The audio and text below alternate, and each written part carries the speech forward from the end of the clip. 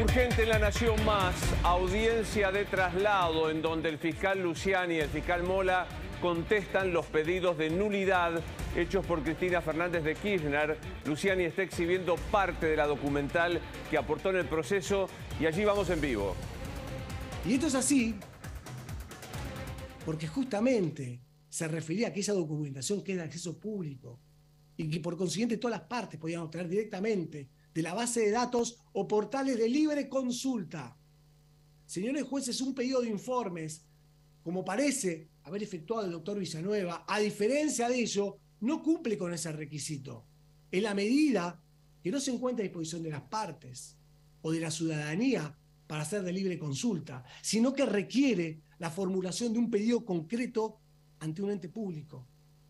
En respuesta, el interesado obtiene un informe con un contenido que es solo conocido por el peticionante, como parece haber sido el caso.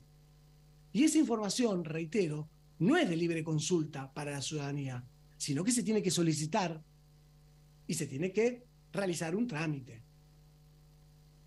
De manera que el doctor Villanueva efectúa un pedido de informes que además es incorporado a su alegato cuando la etapa de producción de pruebas estaba clausurada, agrega extemporáneamente un elemento de prueba que no fue admitido o revisado por el tribunal.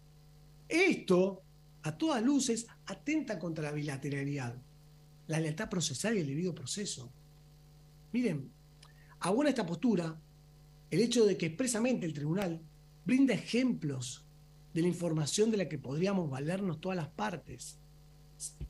Sentencias, interlocutorios de órganos, leyes, decretos, resoluciones ministeriales.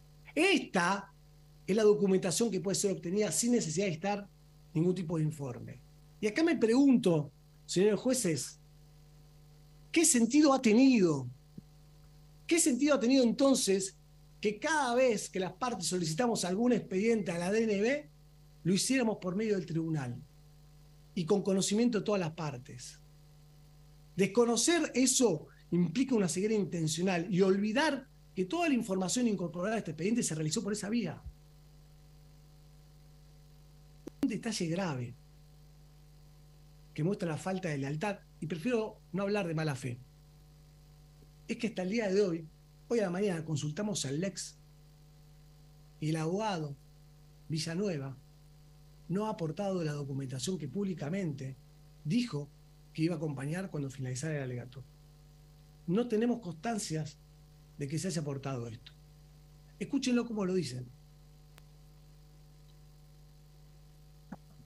Bueno, la respuesta de la DNB nos llegó también por, por medio de la ley de acceso a la información pública. De nuevo, para cumplir con lo que ordenó este tribunal. Toda la información pública se puede alegar, eh, se puede incorporar y nosotros la vamos a acompañar cuando finalicemos este alegato con una carpeta digital para que quede acceso de todos, más allá de que es información de acceso público. Ustedes lo escucharon. Esto ocurrió el 3 de octubre.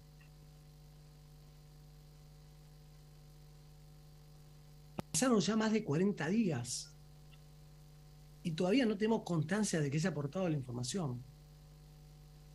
Y por supuesto, señores jueces, la invitación que hace el abogado a que las partes pidamos la información de la misma manera es a todas luces improcedente. ¿Realmente el abogado cree que nosotros vamos a hacer lo que no se ajuste a los principios de lealtad procesal o lo que expresamente permitió el tribunal? Miren, por supuesto que no. Insisto, dentro de la ley todo, fuera de la ley nada. Y en realidad, me pregunto, realmente, ¿qué dirían las defensas si la fiscalía hubiese, hubiese actuado de este modo, no? ¿Qué dirían? No quiero ni pensarlo, pero no quiero pensarlo porque nunca hubiéramos avalado este tipo de acciones. Menos aún hubiéramos obtenido información a espalda de todas las partes comprometernos a aportarle y luego omitir cumplir con el compromiso asumido. Es muy grave, señor juez, de todo punto de vista. Hasta el día de hoy desconocemos, fíjense, detalles, cuándo el abogado pidió esa información, qué fue lo que exactamente pidió, qué información real se le proporcionó. Son muchas preguntas que no podemos contestar, porque hasta el día de hoy no tenemos constancia de que se haya aportado la documentación. Lo único, lo único que pudimos ver de lo poco que exhibió el doctor Villanueva, se trataría de información referida a, no a todas las licitaciones de cantidad, sino a una sola, aparentemente, la 11.707. Y concretamente pudimos ver el PowerPoint, pasó muy rápido, tuvo que ver muchas veces para poder ver y, y hacer lupa habría un expediente certificado 10.791, otro expediente 11.216, otro expediente 824. También mostró en esta vorágine una supuesta medición realizada en el año 2006 por la consultora privada consular. Acá quiero hacer un pequeño paréntesis. Esta fiscalía conoce a la firma consular no por ser, como la catalogó el defensor de Baez, una de las firmas más importantes de la República Argentina, sino porque intervengo como fiscal de juicio en la causa 11.243, caraturada Gentil y Gustavo Marcelo, sobre otras negociaciones incompatibles y lavado de activos. Y esta causa se le sigue, entre otros, a Gentili, que en el año 2004 ocupaba el cargo de gerente de planeamiento, y se investiga justamente al firma consular, que sería propiedad de Gentili en el año 2005, y una compleja maniobra delictiva que no corresponde ahora acá abordarla prontamente, vamos a realizar el juicio justamente ante este tribunal. Y también una supuesta auditoría de la Universidad Tecnológica Nacional realizada en la ruta 288, que se habría realizado en el mes de febrero del año 2013. Digo, esto lo pudimos ver como muy rápido a partir de que reiteramos varias veces, varias veces el alegato del doctor Villanueva, que se trata de una obra vial y no de canteras. Entonces, en oportunidad del alegato, la defensa sí hizo saber que se trataba del expediente 12.309, convocado para realizar, realizar una obra básica de pavimentación que contemplaba la instalación de canteras. Esto es lo que pudimos ver nosotros. Y quiero ser clara, claro, nada, pero absolutamente nada vamos a decir sobre esta documentación. Y no vamos a decir nada porque no la vi, no vamos a recibir ninguna valoración. Entonces no vamos a replicar sobre esto tampoco. Vamos a dejar que el tribunal, en todo caso, si es que acepta esta prueba, lo valore. Tal vez el tribunal tiene más suerte. El defensor se digne a presentar esa información antes del veredicto. La verdad, que esto por sí solo demuestra una falta de lealtad con la que ha actuado el defensor. Por eso, nada, pero absolutamente nada tenemos que decir al respecto, ni menos replicar sobre algo que desconocemos. Simplemente, y esto sí hay que dejarlo claro, porque nunca voy a claudicar los deberes y las funciones que tiene este Ministerio Público Fiscal.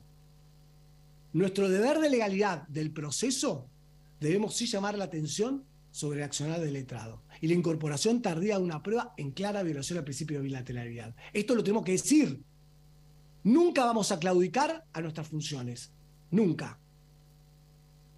Señores jueces, vamos a solicitar que se rechace la nulidad parcial de nuestro alegato en cuanto a las valoraciones realizadas por las licitaciones vinculadas a la remisión de canteras. Y vamos a pedir también la imposición de costas. Imposición de costas para la parte por no tener razón plausible para litigar. Ahora,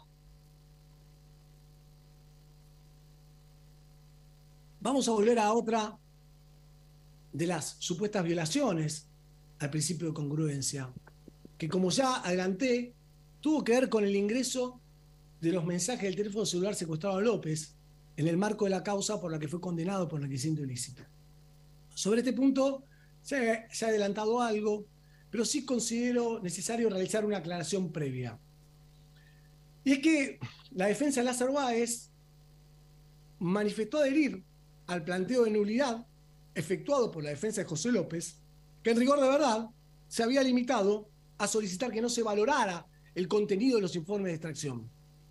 Perdón la redundancia de información del teléfono celular que se le secuestró a López en el marco de la causa 12.441. Es decir, al igual que lo que hicieron varias defensas, en sentido estricto, el doctor Finn no interpuso o no solicitó que se declarara la nulidad parcial de nuestro alegato en este punto, sino que únicamente, yo, esto es lo que entendimos, únicamente solicitó, como anticipamos, que eventualmente no se valorara en la sentencia. Entonces, la situación que se nos presenta es que la defensa de Baez sí solicita la nulidad. Y expresamente se remite a la exposición del doctor Fim. aunque también introduce algunos argumentos. Y esto nos obliga, como garante de la legalidad, a contestar este punto. Y necesariamente abrimos de referirnos a los argumentos del doctor Finn, solo en esa medida, es decir, en la medida en que Villanueva los hizo suyos. El núcleo del argumento del doctor Finn se basaba, dicho sintéticamente, en que la ponderación de los mensajes que se extrajeron del celular de su defendido constituiría una injerencia arbitraria de su vida privada, su intimidad y que sería violatorio de su derecho de defensa. Esta cuestión, tan como el propio Finn reconoció en su alegato, ya había sido resuelta por el tribunal. La contestación, en realidad no es una contestación a las nulidades, Gaby, porque él dijo, no voy a contestar, ya lo expliqué en los alegatos, ¿no? Sí, no hay, y los argumentos ya son válidos. De los argumentos, no hay nada nuevo para hacer lo que se conoce como las réplicas, sí está solamente respondiendo a los pedidos de nulidad como para, obviamente, desestimarlos cada uno de ellos, lo que tiene que ver con, por ejemplo, el teléfono de José López, alguno de los defensores eh, de los acusados planteó la nulidad de esa prueba, la sentencia contra Lázaro Báez en otro expediente también lo incorporó el tribunal y él dijo que el tribunal lo había aceptado, entonces se está dando explicaciones a cada una de las cuestiones y se está empecinando en eh, criticar al abogado de Lázaro Báez, a Villanueva, porque fuera del periodo de recolección de pruebas hizo un pedido de informes a Vialidad para conseguir más información, dijo que lo iba a subir y no lo subió, así que atentos a lo que sigue diciendo Luciani. Después de esto ya el tribunal tiene que fijar todo el cronograma de lo que se viene, de los 12 acusados van a tener su momento de las últimas palabras y después cuando termina el último, el 12, es donde se conoce el veredicto.